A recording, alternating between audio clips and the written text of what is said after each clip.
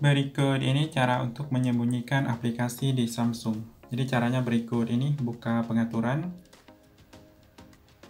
Kemudian dari pengaturan pilih yang namanya yang ini, layar depan. Pilih sembunyikan aplikasi di layar depan yang ini.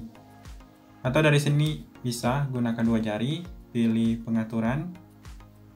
Ada sembunyikan aplikasi di layar depan. Nah, di sini kalian bisa lihat kalau ingin menyembunyikan, kalian bisa pilih misalnya yang ini. Dia muncul di daftar aplikasi tersembunyi, pilih selesai, dan kalian lihat aplikasinya hilang. Kalau untuk memunculkan sama, pilih pengaturan, sembunyikan aplikasi di layar depan, ini dibuang, kemudian pilih selesai di sini.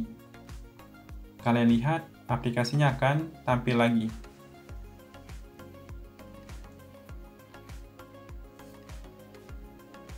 Saya ulangi. Nah, yang ini ChatGPT.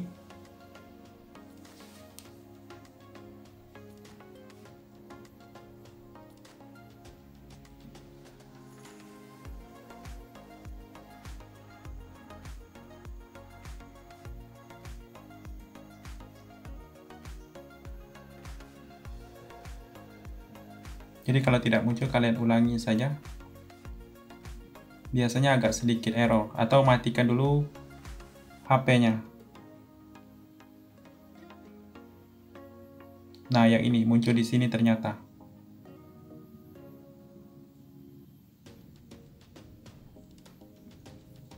Silakan dicoba.